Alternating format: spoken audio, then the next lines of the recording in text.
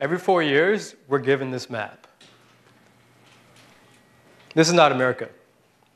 You don't just walk from Florida to Georgia and everything is different. In reality, we believe that it's more of a smooth transition. So we decide we're going to try to make a clearer picture. We break this down to a county level, and we can see now that the states are actually a patchwork of red and blue counties. Our next question is okay, if I walk into Leon County and then cross over into the next county, is it different? So we're going to take all the red votes, all the blue votes, and inside each county, we're just going to uh, merge them all together. And, and what ends up happening is we get purple.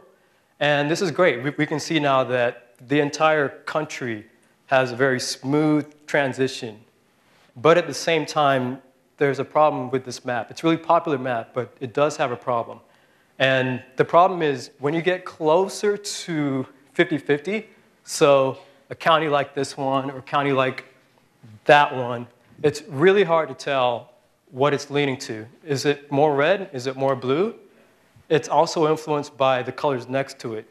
You can look at one county and you could think it's leaning red, and in reality, it's leaning blue. So this map isn't all that clear. So why? What's the problem? Well, the problem is instead of this, where we're looking at red versus blue, now we're looking at an indiscrete number of hues that exist between red and blue. All we want to do is look at red and blue and compare those two. But when you see an equal amount of red hues and blue with an absence of green, you see magenta. It's magenta that's the problem.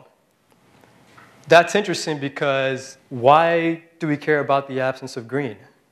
What happens if we decide, hey, we're going to include green? We go from this to that. And now we can see that every county is either red blue or gray. If it's gray, it's even, 50-50. If it's the slightest red, if it's like this county right here, easy. It's leaning red. If it's this county, easy. It's leaning blue. Way easier than before. Magenta was nonsense, and we were looking for is it more red or is it more blue? You can use this concept, and now you can only compare two things instead of an indiscrete range of hues. And you can still apply everything else that you normally use in map making, such as relative turnout, because you still have alpha layer that you can use for that. So yeah, I just wanted to show you guys a new way to show data and make it a little bit clearer than we could before. Thank you.